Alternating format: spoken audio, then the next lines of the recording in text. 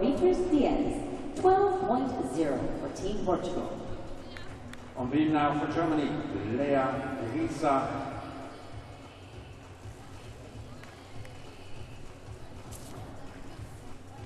On vault, one of the athletes of the Democratic Republic of Korea, Kyun Ye Jong, and on floor, Portugal, Mariana Marianito.